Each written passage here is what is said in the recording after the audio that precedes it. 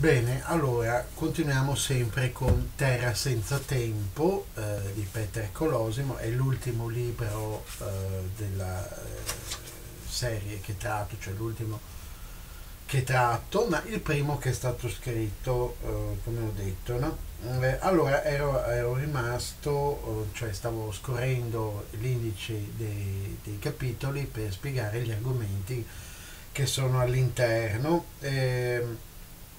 E che appunto tracciano le, le, le, diciamo, i temi classici dell'archeologia misteriosa eh, da un lato e poi parlano anche di specifici eh, questioni che poi non ho trovato molto spesso in altre parti. Eh, oggigiorno certi eh, misteri sono caduti nel dimenticatoio anche da parte di quelli che sembrano interessarsi così a, a argomenti misteriosi. Normalmente ho notato ci si volge molto a misteri puramente inventati, no? che poi si rivelano essere delle bufale, mentre i misteri veri normalmente non vengono neanche più citati da nessuno come appunto quello delle costellazioni nella giungla, no? queste, eh, che è appunto il eh, titolo del diciassettesimo capitolo.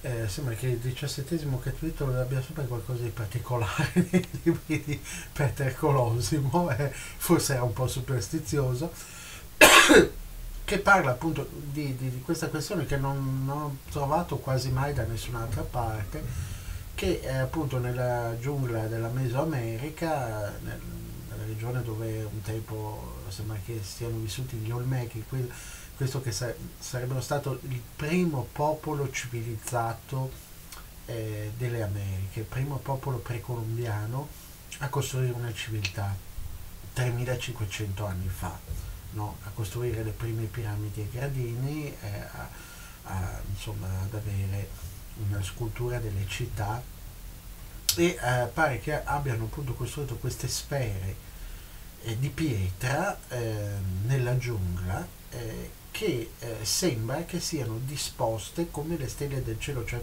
in pratica sarebbe una mappa stellare, no? È quello che almeno da come ne parla Peter Colosimo, poi bisognerebbe vedere se è veramente così, ma di questa faccenda di queste strane sfere di pietra che effettivamente sono un unicum in tutto, eh, in tutto il mondo archeologico, cioè fra i megaliti eh, di tutto il mondo non ci sono megaliti sferici.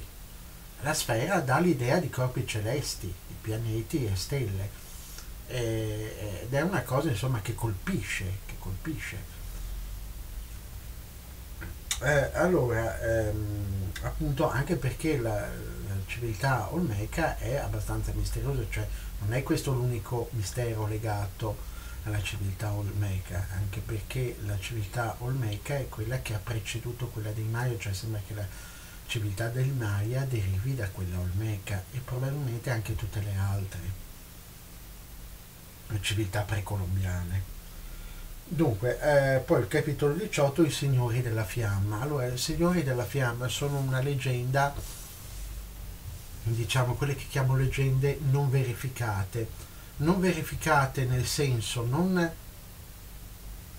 eh, se ne è verificato il eh, diciamo il fondamento mh, mm, eh, reale cioè se può avere un, o meno un legame con, con fatti reali. Ma eh, che non siano state invece, invece, cioè che esistano realmente queste leggende, nel senso che non siano state inventate di sana pianta da un autore e poi propagate come se queste leggende facessero parte di un folklore, di una tradizione, mentre in realtà sono state inventate da un autore di sana pianta come eh, la leggenda de, degli angeli di Mons creato da, da Arthur Machen e poi propagatasi fino a diventare insomma parte de, de, de, della tradizione, anche se una pura, era una pura invenzione di Arthur Machen. Allora, i Signori della Fiamma, eh, quindi non so se sono una leggenda che esiste realmente nel Tibet o se invece l'ha inventata Madame Blavatsky o altri balenghi della stessa specie no? eh, teosofica. Questo non lo so, cioè magari prendendo da un'altra leggenda e rielaborandola. Allora, secondo questa, questa leggenda,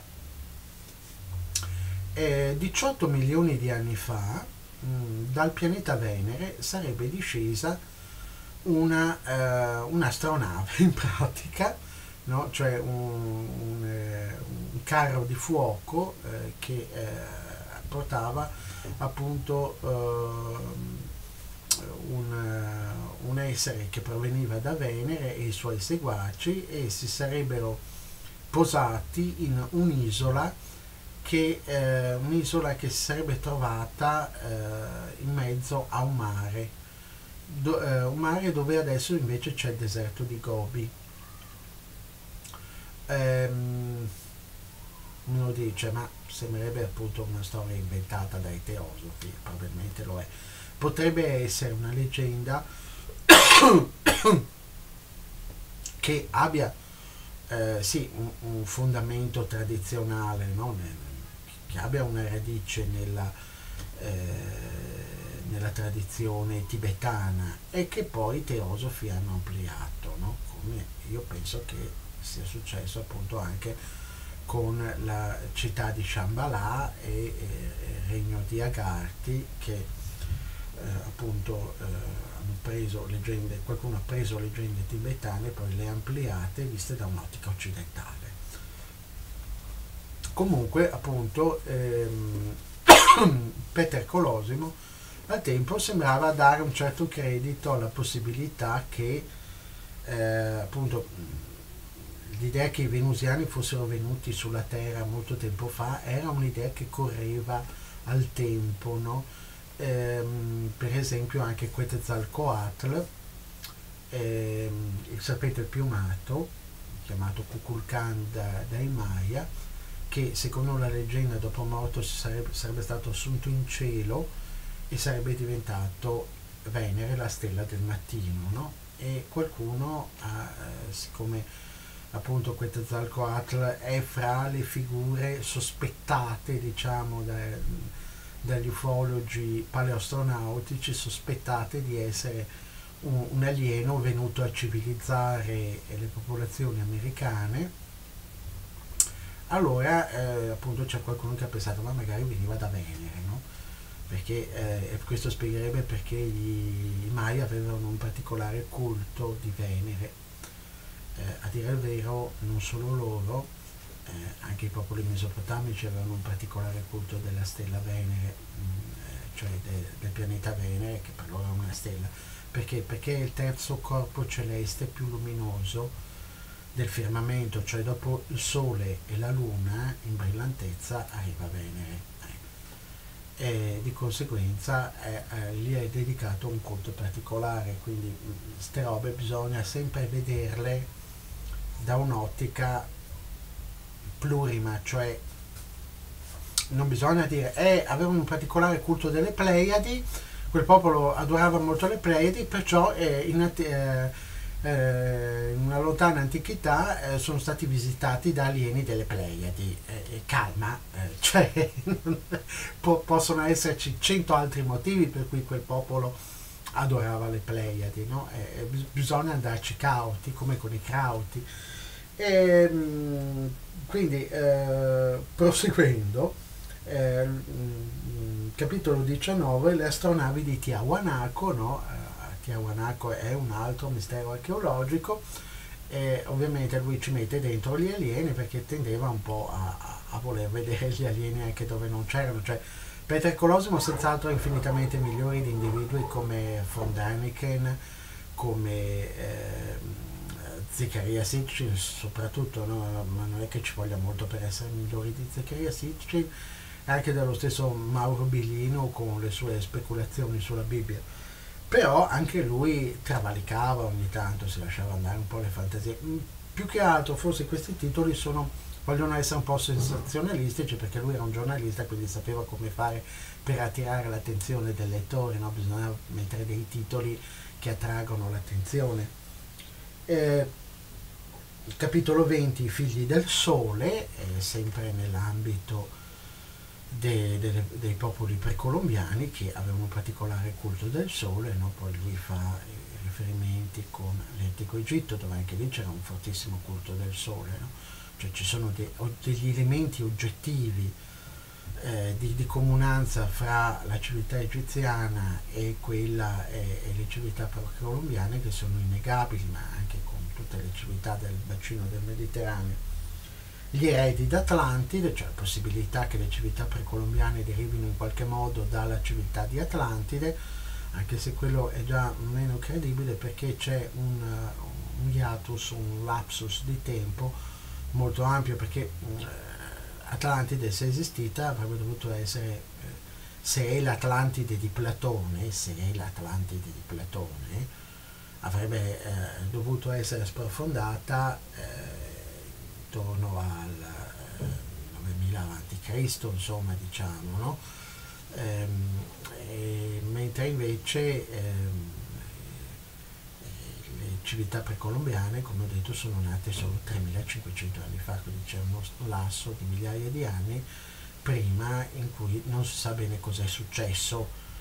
E possono esserci state delle civiltà, può darsi, eh, ma sono ancora tutte da scoprire e quindi è una teoria un pochettino campata in aria eh, i miti delle terre perdute, eh, cioè qui credo che ehm, parli appunto di, di, delle terre che sono state avvistate poi mai più riviste, che, che ne ha parlato anche in un altro libro, e l'ultimo capitolo, Crociere impossibili, in cui tratta appunto eh, il tema delle, dei contatti antichi eh, fra le civiltà antiche e continenti che non avrebbero dovuto conoscere, cioè le Americhe e poi magari anche l'Australia e l'Oceania, no? eh, perché cioè, non solo ci sono tracce di contatti fra le Americhe e il mondo mediterraneo, per esempio i Fenici, gli Egiziani, gli Etruschi e via dicendo,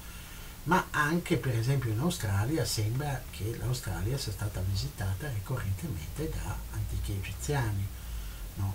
e, perché eh, per ritrovamenti avvenuti eh, appunto sul suolo australiano e poi anche eh, perché in Egitto ci sono le controprove, cioè si vedono degli, degli egiziani raffigurati con dei boomerang oppure eh, ci sono cronache che parlano di una terra di là dal mare abitata da gente dalla pelle nera, il cosiddetto paese di Punt, in, eh, in, in certe cronache. Eh, adesso non so quanto eh, fondate possono essere queste teorie, però diciamo che esistono, sono cose da indagare no? e eh, appunto gli egiziani avrebbero avuto dei commerci con questo paese di Punt, eh, che forse potrebbe essere l'Australia, al di là dell'oceano. Eh, eh, quindi finisco con questo, finisco tutta la tirata su Peter Colosimo, magari qualcuno sarà contento perché si sarà stufato, qualcun altro invece gli sarà venuto la curiosità di saperne di più.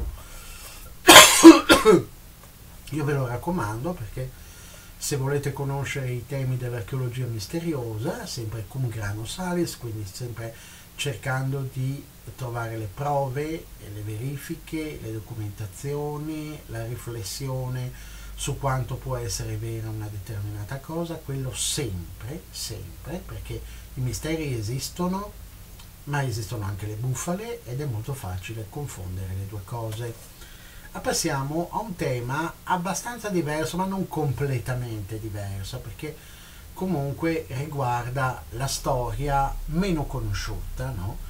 E, e, questo è un libro che sinceramente io raccomando a molti, eh, perlomeno a tutte le persone che sono interessate a, eh, dunque, innanzitutto al rispetto dei diritti umani e poi anche interessati alle culture diverse dalle nostre. Tutte le persone che non sono convinte che la civiltà occidentale sia il non plus ultra eh, dell'umanità e che magari anche altre culture altre civiltà hanno qualcosa da dire su ciò che è giusto e ciò che è buono. Allora, eh, sono quasi alla fine, Storia degli indiani d'America di Philippe Jacquin, e le edizioni eh, sono un Oscar Mondadori e qui chiudo, arrivederci.